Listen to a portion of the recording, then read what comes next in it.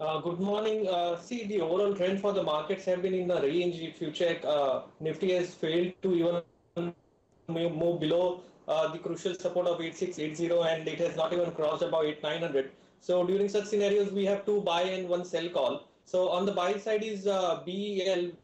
If you check the chart of Bharat Electronics Limited, the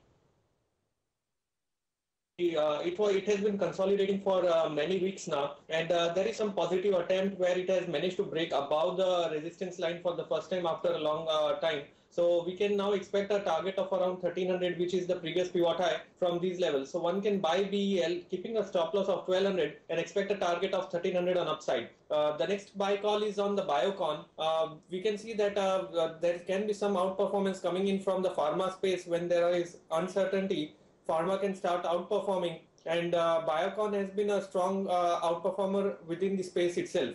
So one can initiate long positions on Biocon, keeping a stop loss of 925 and expect a target of 1020.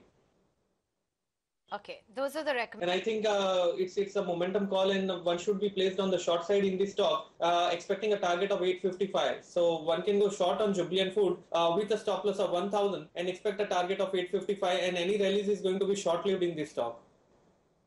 There you have it. That's the view coming in from Ashish Kyal.